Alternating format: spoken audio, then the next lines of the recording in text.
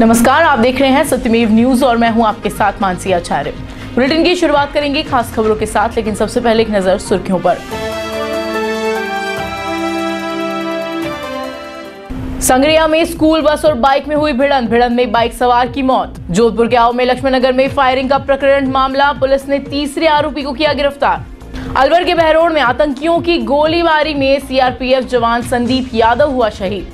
शहीद का राजकीय सम्मान के साथ किया गया अंतिम संस्कार। और झुंझुनू के मंडावा में एसएचओ राकेश मीणा ने किया मामले का खुलासा। पत्नी ने ही जहर देकर मारा था फौजी रविंद्र उर्फ़ बाबू को। और अब खबरें विस्तार से। सांगरिया गाँव बोलावाली के पास में एक निजी स्कूल की बस के साथ बाइक सवार की भिड़ंत हो गई। भीड़ इतनी जोरदार थी कि बाइक सवार की मौके पर ही मौत हो गई, जब मृतक की जेब में से एक आधार कार्ड मिला, जिससे मृतक की पहचान की जा सकी। मृतक के शव को संगरिया के सरकारी चिकित्सालय में रखवाया गया है।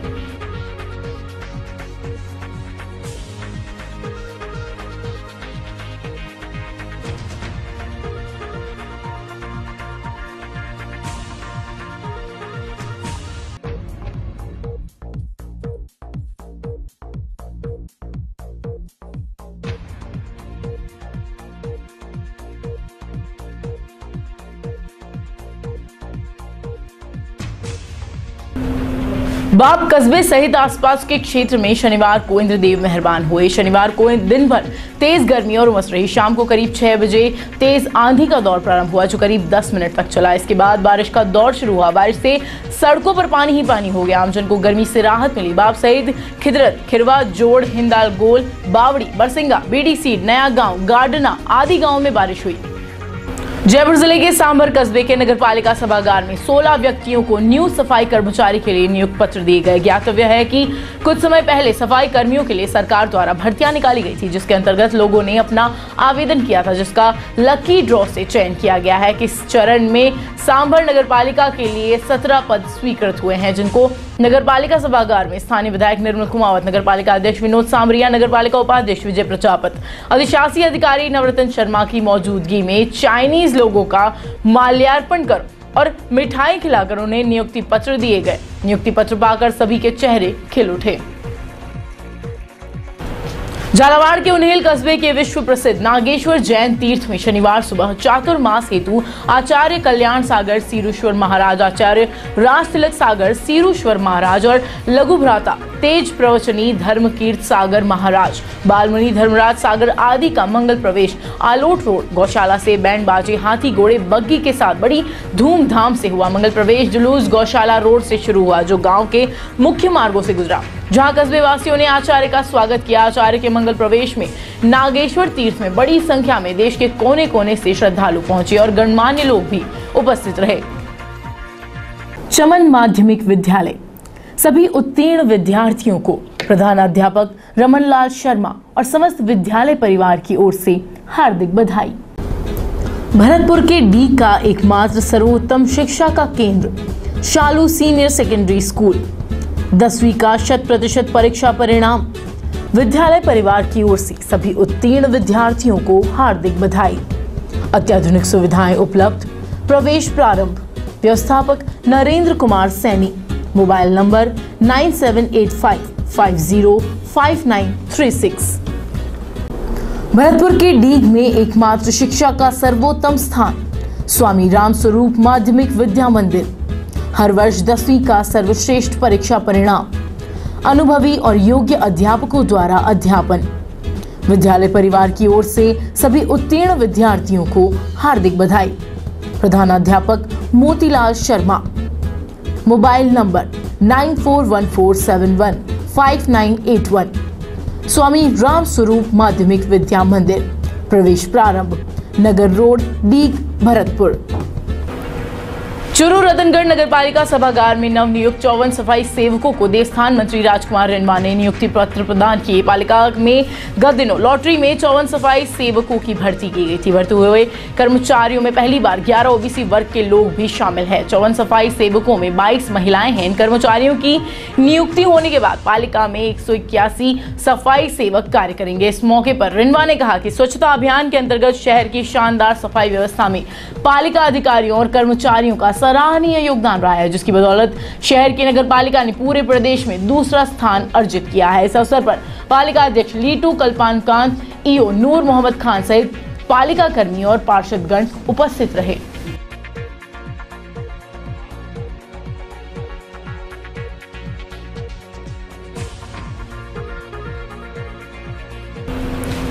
जोधपुर के शेरगढ़ उपखंड की ग्राम पंचायत गड़ा में कार्यरत पंचायत सहायक जो वर्तमान में राजकीय उच्च माध्यमिक विद्यालय गड़ा में सेवारत है, उनके साथ उसी स्कूल के बदमाश प्रवृत्ति के छात्रों को पंचायत सहायक द्वारा स्कूल में अनुशासन में रहने को कहने पर छात्रों द्वारा रंजिश रखते हुए स्कूल की छुट्टी के बाद पंचायत सहायक रूगाराम मेघवाल के साथ लाठियों से जानलेवा हमला किया। पुलिस ने मामला दर्ज कर जाँच शुरू कर दी है। वहीं घायल पंचायत सहायक का राजकीय सामुदायिक चिकित्सालय शेरगढ़ में उपचार चल रहा है।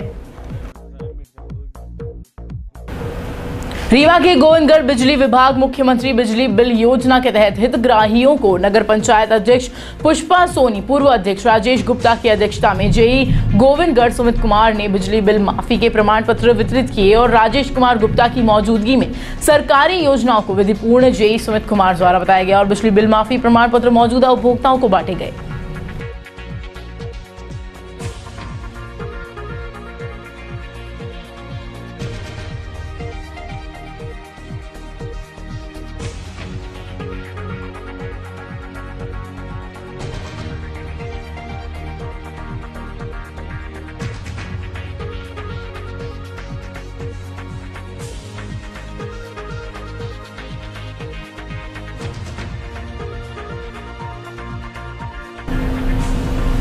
जयपुर में रोटरी क्लब द्वारा नवनिर्वाचित कार्यकारिणी का शपथ ग्रहण समारोह का आयोजन किया गया। शपथ ग्रहण समारोह में क्लब के अध्यक्ष मोनीश मेहरा और उनके कार्यकारिणी को शपथ दिलाई गई। इस अवसर पर नीरज सागरी मुख्य अतिथि रहे। रोटरी क्लब के सेक्रेटरी मूलचंद सैनी ने बताया कि रोटरी क्लब के द्वारा 550 सरकारी स्कूल में एमओयू हस्ताक्षर हुए, जिसमें बहत्तर स्कूलों में Rotary club, hand wash station और शौचालय बनाएँगे और इसके साथ ही पॉलिथीन पर बैन लगाएँगे।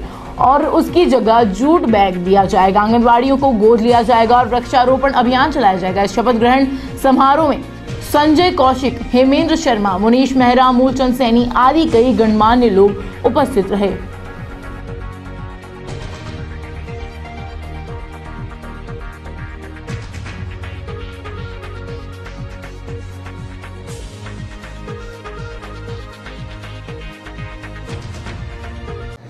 आज हमारा जो इंस्टॉलेशन का प्रोग्राम है, जिसमें हमारे क्लब के नए मेंबर्स बोर्ड ऑफ़ डायरेक्टर्स जो अपॉइंट हुए हैं, उनकी आज शपथ ग्रहण समारोह है। और हम लोग जो पूरे साल में कार्यक्रम करेंगे, उसके बारे में हम लोग बताएँगे। हम लोग सोशल एक्टिविटीज़ करते हैं प्लस लोगों से हमारा आपस में फेलोशिप वगैरह का प्रोग्राम रहता है। और आज करीब एक घंटे का हमारा प्रोग्राम है। और हमारे चीफ गेस्ट हैं डी साहब हमारे नए डिस्ट्रिक्ट गवर्नर हैं, थ्री ज़ीरो फाइव फोर के, और चीफ गेस्ट हैं, हमारे, गेस्ट ऑफ़ ऑनर हैं हमारे मिस्टर के एल गुप्ता रिटायर्ड डिस्ट्रिक्ट जज हैं, और आज इस टाइम वो चेयरमैन हैं कंज्यूमर डिस्ट्रिक्ट फोरम और एक हमारे डिस्ट्रिक्ट गवर्नर नॉमिनी हैं जो राजेश अग्रवाल जी कोटा से आए हैं वो आज हमारे इंस्टॉलेशन ऑफिसर हैं जो सबको शपथ दिलाएँगे और हमारे इंस्टॉलेशन सेरेमनी जयपुर का शपथ ग्रहण समारोह का कार्यक्रम आयोजित किया जा रहा है। इसमें नए मेंबर्स भी आज जो, जोड़े जा रहे हैं।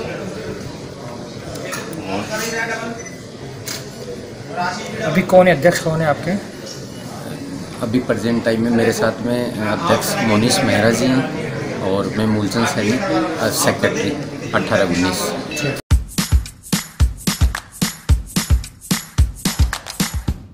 देसी खाना विदेशी खाना। चटपट खाना, झटपट खाना, घर का खाना, बाज़ार का खाना। थाली का खाना, सड़क का खाना। छोटा खाना, बड़ा खाना। खाना पीना, ऐसा खाना, वैसा खाना। बस खाते ही जाना। खाना खा जाना। यम्मी खाना, टम्मी खाना। जी हाँ सत्यमेव लाए हैं अपने दर्शकों के लिए खास कार्यक्रम, किचन करामात। दुनिया भर की स्वादिष्ट रेसिपीज़ को अब बनाइए चुटकियों में। हमारे साथ देखिए किचन करामात और सीखिए हुनर रसोई का। हर रोज देखिए एक नई विधि, एक नई रेसिपी की, सिर्फ़ किचन करामात में।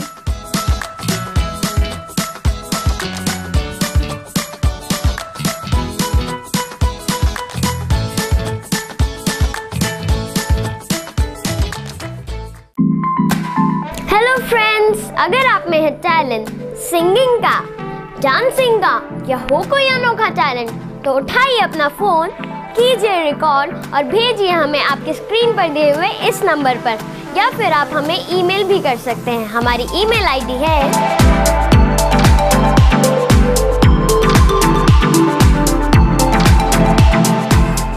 एम सीनियर सेकेंडरी स्कूल सभी उत्तीर्ण विद्यार्थियों को प्रधानाध्यापक लक्ष्मण प्रसाद सैनी और समस्त विद्यालय परिवार की ओर से हार्दिक बधाई। द राजस्थान ग्लोबल स्कूल, जड़ से मज़बूत शिक्षा, डी का प्रथम वास्तविक अंग्रेज़ी माध्यम स्कूल। अत्याधुनिक सुविधाओं के साथ डी का प्रथम वास्तविक अंग्रेज़ी माध्यम स्कूल। एडमिशन ओपन कक्षा नर्सरी से आठवीं तक। The Rajasthan global school, bank of Baroda के पीछे Deeg Bharatpur mobile number double seven three four nine one nine one nine six nine seven eight five nine seven nine seven six two Srinagar के अनंतनाग ज़िले में 13 जुलाई को सुबह आतंकियों की गोलीबारी में शहीद हुए अलवर ज़िले के हाजीपुर के समीप ढाणी गुर्जर वाली निवासी सीआरपीएफ जवान संदीप यादव का देर शाम को राजकीय सम्मान से अंतिम संस्कार किया गया। इस मौके पर केंद्रीय मंत्री राज्यवर्धन सिंह राठौर सीआरपीएफ के डीआईजी अनिल डोडिया और सीआरपीएफ के कमांडेंट भरत कुमार वैष्णव सहित अनेक जनप्रतिनिधि मौजूद रहे। अनंतनाग में अमरनाथ यात्रा में ड्यूटी के दौरान आतंकियों के हमले का शिकार हुए शहीद संदीप यादव का पार्थिव देह जैसे ही उनके पैतृक गाँव पहुँचा तो ग्रामीणों ने भारत जिंदाबाद के नारे लगाए। अंतिम यात्रा उनके निवास से शुरू हुई। पूरे गाँव में गमगीन माहौल हो चुका था। उनके पुत्र शहीद संदीप यादव के पुत्र आशीष ने मुखाग्नि दी। दो दिन से इस गाँव में चूल्हे भी नहीं चले और आसपास के गाँव में शोक की लहर छा गई। दो दिन पहले अनंतनाग से शहीद संदीप यादव का पार्थिव देह सेना के हेलीकॉप्टर से जयपुर पहुँचा और जयपुर से दोपहर दो बजकर पैंतालीस मिनट पर अलवर ज़िले के थाना गाजी स्थित डेरा में हवाई पट्टी पर हेलीकॉप्टर उतरा। वहाँ से सड़क मार्ग से शहीद का पार्थिव देह सीआरपीएफ के वाहन से उनके पैतृक गाँव लाया गया। जैसे ही सेना का हेलीकॉप्टर हवाई पट्टी पर उतरा तो मौजूद लोगों ने संदीप यादव अमर रहे। भारत जिंदाबाद के नारे लगाए।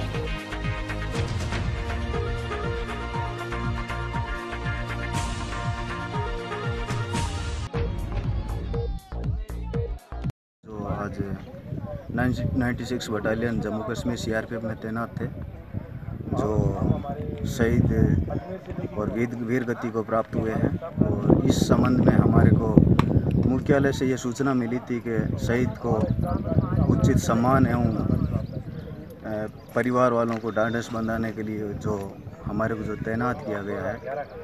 और अजमेर से से सम्मान इनको सम्मान देने के लिए सीआरपीएफ समस्त परिवार इनके परिवार के साथ में है। और हमारे डीआईजी श्री अनिल डोंडियाल बानसूर में अभी यहाँ पर प्रेजेंट में हैं जो आ रहे हैं। और इस दौरान हम यहाँ से हेलीपैड से इनके घर की ओर रवाना होंगे जिसमें उनको अ, से सम्मान इनका शहीद को दाह संस्कार किया जाएगा।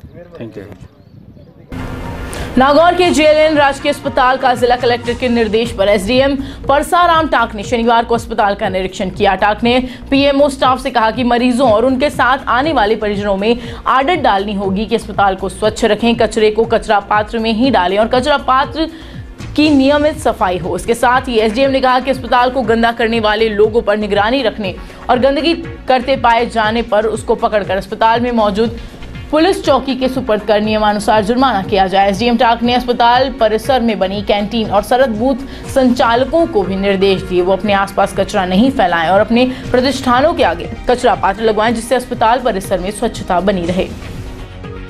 झुंझुनू समेत प्रदेश के करीब एक सौ सड़सठ निकायों में सफ़ाई कर्मचारियों की भर्ती हो गई है। 27 और 28 जून को प्रदेश के एक निकायों में कर्मचारियों की भर्ती के लिए लॉटरी निकाल दी गई थी, लेकिन परिणाम घोषित नहीं किया गया था। कल शाम को हाई कोर्ट के निर्णय के बाद न केवल एक सौ सड़सठ निकायों में परिणाम घोषित कर दिया गया, बल्कि आज की छुट्टी होने के बावजूद नियुक्ति पत्र भी दे दिए गए। इसी क्रम में झुंझुनू नगर परिषद में भी एक सौ तिरपन चयनित अभ्यर्थियों को जिला कलेक्टर दिनेश कुमार यादव, सभापति सुदेश अहलावत रावत ने नियुक्ति पत्र दिए, जिसके बाद नगर परिषद की सफ़ाई कर्मचारियों की संख्या तीन गुना बढ़ गई है। पहले जहाँ करीब 50 सफ़ाई कर्मचारी थे, वहीं अभी आंकड़ा 200 पार कर गया है। साथ ही 26 साल बाद सफ़ाई कर्मचारियों की भर्ती होने से खुशी है, खासकर वाल्मीकि समाज में इससे खुश है।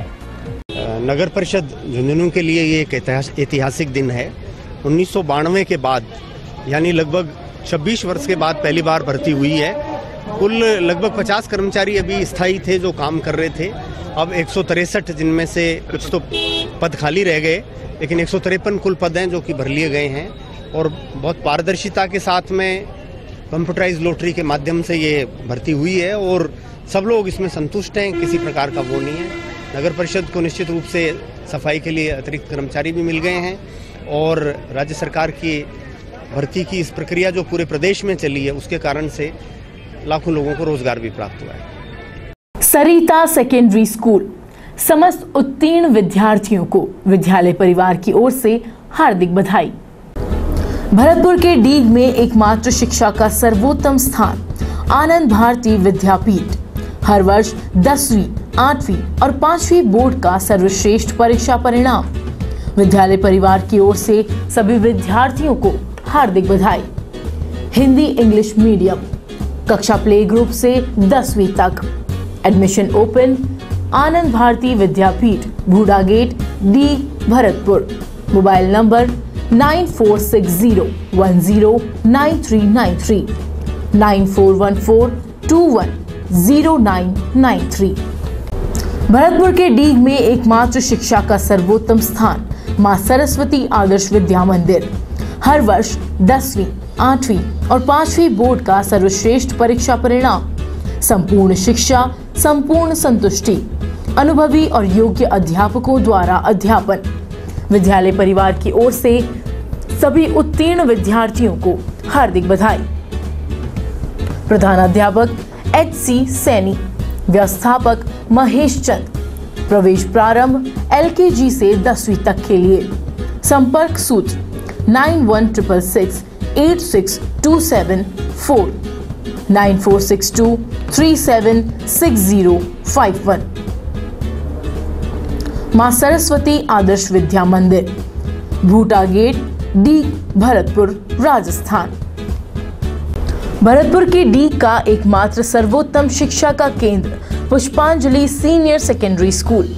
दसवीं का सर्वश्रेष्ठ परीक्षा परिणाम। विद्यालय परिवार की ओर से सभी उत्तीर्ण विद्यार्थियों को हार्दिक बधाई। प्रवेश प्रारंभ एलकेजी से बारहवीं के लिए।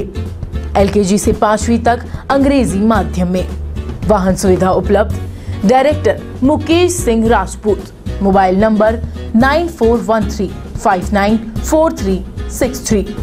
Pushpanjali senior secondary school. Arya Samaj गली सौगर मोहल्ला, डीग भरतपुर। सीएम राजे शनिवार को राज के सेठ आनंदी लाल पोदार भूप बधिर विद्यालय प्रांगण में सविता रणजीत सिंह भंडारी डॉल्स म्यूज़ियम के लोकार्पण समारोह को संबोधित कर रही थी। उन्होंने प्रदेश के भामाशाओं और सामाजिक कार्यकर्ताओं सहित विभिन्न विधाओं से जुड़े लोगों का आह्वान किया कि वे इसके लिए एक साथ जुटे। उन्होंने कहा कि मुख बधिर दिव्यांग बच्चों के लिए उच्च शिक्षा और प्रशिक्षण के लिए ऐसे संस्था की स्थापना एक बड़ा सपना है, जिसे समाज के सक्षम लोग, प्रबुद्ध जन और राज्य सरकार आपसी समन्वय और योगदान से पूरा करते हैं। मुख्यमंत्री ने मुखबधीर विद्यालय और डॉल्स म्यूज़ियम के संचालन में अग्रणी भूमिका निभा रहे ट्रस्ट को म्यूज़ियम और विद्यालय के लिए हॉस्टल सहित अन्य सुविधाएँ उपलब्ध कराने के लिए धन्यवाद दिया। मारवाड़ जंक्शन निकट चेलावास ग्राम में मेरा बूथ, मेरा गौरव कार्यक्रम के तहत पूर्व जिला प्रमुख खुशवीर सिंह जोजावर ने उपस्थित लोगों के बीच बैठकर आम आदमी की तरह जनसंवाद कर भाजपा सरकार की विफलताओं को कोसा और कांग्रेस पार्टी को जनहित की पार्टी बताया। इस मौके पर अर्जुन सिंह कपूरा राम मीणा, नेवाराम मेघवाल, अचलाराम, लक्ष्मण वाला राम देवासी रंजीत मालवीय आदि कई कांग्रेसी कार्यकर्ता और ग्रामीण मौजूद रहे।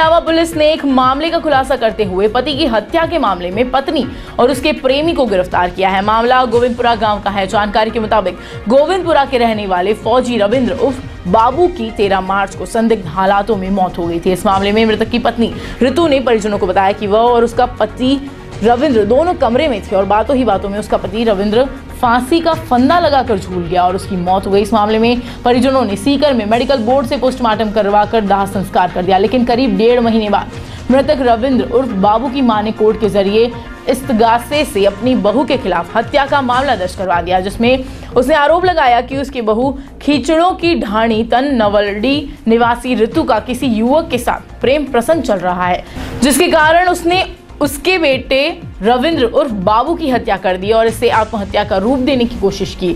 इस मामले में पुलिस भी एक तरफ़ जाँच में लगी हुई थी तो दूसरी तरफ़ मामले का रासफाश करने के लिए ग्रामीण भी कई बार कलेक्टर और एसपी से मिल चुके थे। अब मामले का शनिवार को एसएचओ राकेश मीणा ने खुलासा किया, जिसमें उन्होंने न केवल ऋतु बल्कि उसके प्रेमी भेड़ा की ढाणी निवासी आदेश भेड़ा को हत्या के आरोप में गिरफ़्तार कर लिया है। एसएचओ मीणा ने बताया कि ऋतु अपने पति रविंद्र से तलाक लेना चाह रही थी, लेकिन रविंद्र तलाक नहीं दे रहा था, इसीलिए उसे रास्ते से हटाने के लिए ऋतु और आदेश ने मिलकर हत्या की योजना बनाई। ऋतु ने जूस में अपने पति को जहर मिलाकर दे दिया और उसकी मौत होने के बाद परिजनों को आत्महत्या की झूठी मनगढ़ंत कहानी बताई। पुलिस ने दोनों आरोपियों को कोर्ट में पेश किया, जहाँ से उन्हें जेल भेज दिया गया। ये मामला जो है 13 मार्च 2018 का है। इसकी मृतक की जो माँ थी नैन तारा इसने ज़रिए इस्तगासा एक सौ छप्पन तीन कोर्ट से जो है मुकदमा दर्ज हुआ था। ये चौबीस तीन को मुकदमा दर्ज चौबीस चार को मुकदमा दर्ज हुआ था। घटना तेरह तीन की है। मुकदमा दर्ज होने के बाद में शुरुआती जो तफ्तीश है, वो तत्कालीन S H O Shri Bhanwarlal ji ने करी थी। भंवरलाल जी का सिक्कर स्थानांतरण होने के बाद ये तफ्तीश मेरे पास आई। मैंने शुरुआती तफ्तीश में जो परिवादी के बयान लेखबत किए, गवाहों के बयान जो लेखबत किए, इसका मृतक का जो पोस्टमार्टम था, वो सिक्कर एस के हॉस्पिटल में हुआ था, जहाँ से मेडिकल बोर्ड से इसकी मेडिकल रिपोर्ट प्राप्त की गई। मृतक की जो माँ ने जो नैन तारा थी, उसने अपनी बहू ऋतु के विरुद्ध जो है तीन सौ दो का जो है मुकदमा दर्ज करवाया था, आरोपिया ऋतु को, ऋतु से पूछताछ की गई। तो ऋतु ने बताया कि भाई मैं और मेरे पति रूम के अंदर थे तो मेरे पति मेरे सामने जो है फांसी को लटक गया। मैंने इसको फांसी से काट के नीचे फर्श पे इसको लिटाया ताकि इसको बेड पे लिटाया। ये बयान उसके ऋतु के थे। जो मेडिकल जो बोर्ड जो प्राप्त की गई थी, उसके अंदर कोज ऑफ़ डेथ जो है, जहर से आना, पुष्टि हुई है। जिससे इन दोनों का कुछ मेल नहीं खा रहा है। ऋतु को बुलाकर गहनता से पूछताछ की गई तो ऋतु ने कबूला कि भाई मेरा मैंने जो है धोखे से मेरे जो प्रेमी, जो आदेश पेड़ा जो भेड़ों की ढानी झुंझुनू का रहने वाला था, उसके साथ मेरे छह साल से संबंध थे। शादी से पहले से मेरे छह साल से संबंध थे। दोनों की कॉल डिटेल निकलाई गई। कॉल डिटेल से भी इस बात की पुष्टि हो रही कि दोनों लगातार काफ़ी समय से जो है, काफ़ी देर तक बातें करते थे और दोनों से गहनता से पूछताछ की गई। तो दोनों ने कबूला कि भाई मेरे पति जो, हम दोनों के बीच में जो है कांटा बन रहा था। मेरे पति मुझे तलाक दे नहीं रहा था इसको रास्ते से हटाने के लिए। हमने जो है धोखे से षड्यंत्र रच कर इसको धोखे से जहर दे दिया, जिससे इसकी मृत्यु होगी दोनों को गिरफ़्तार कर न्यायालय में पेश करके दोनों को जेसी करवाया गया। लक्ष्मण नगर में गैंगवॉर फायरिंग प्रकरण में पुलिस ने तीसरे आरोपी को गिरफ़्तार कर लिया है और छह वाहन जब्त किए हैं। कस्बे के लक्ष्मण नगर में एक हफ़्ता पहले बदमाशों के दो गुटों में हुए झगड़े के बाद फायरिंग में लोहावट निवासी सुरेश खिलेरी की मौत और चार अन्य घायल हुए थे। इस प्रकरण को लेकर भोजासर पुलिस थाने में सत्रह लोगों के खिलाफ मुकदमा दर्ज हुआ है, जिसको लेकर पुलिस ने रात राम कुमार पुत्र किसना राम विश्नोई निवासी डेगाना रामनिवास और रामचंद्र सोहरलाल विश्नोई निवासी जैसला को पुलिस ने गिरफ़्तार कर लिया है, जिसकी रिमांड अवधि पूरी होने पर ओसिया न्यायालय में पेश किया, जहाँ से उन्हें जेल भेज दिया गया। इन आरोपियों में से तीसरे आरोपी श्यामलाल पुत्र जेताराम विश्नोई निवासी कृष्णनगर को पुलिस ने गुरुवार को गिरफ़्तार किया, जिसकी पुलिस रिमांड के दौरान पूछताछ जारी है। बाकी आरोपियों की तलाश की जा रही है। और बुलेटिन में फ़िलहाल के लिए इतना ही। देश प्रदेश की तमाम बड़ी खबरों के लिए आप देखते रहिए सत्यमेव न्यूज़।